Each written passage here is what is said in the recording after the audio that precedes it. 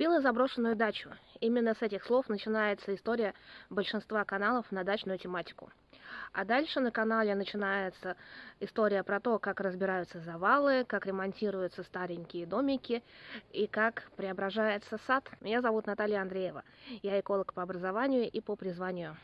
Нет, я не покупала заброшенную дачу. Моя дача это скорее мое родовое поместье, пусть и маленькое. Эту дачу построил своими руками мой дедушка более полувека Но назад. все то, что привлекает зрителей на каналах восстановления заброшенных дач, есть и на моем. Я разбираю завалы старых вещей, так как раньше на дачу свозилось то, что в городе уже не нужно, но может пригодиться. Представляете, сколько всего здесь накопилось? А также здесь есть некоторые уникальные раритетные вещи, которым я даю вторую жизнь. Я делаю ремонт в своем старом дачном домике, а в ремонте есть элементы реставрации, так как для меня важно сохранить эту атмосферу, эту эстетику именно дачи.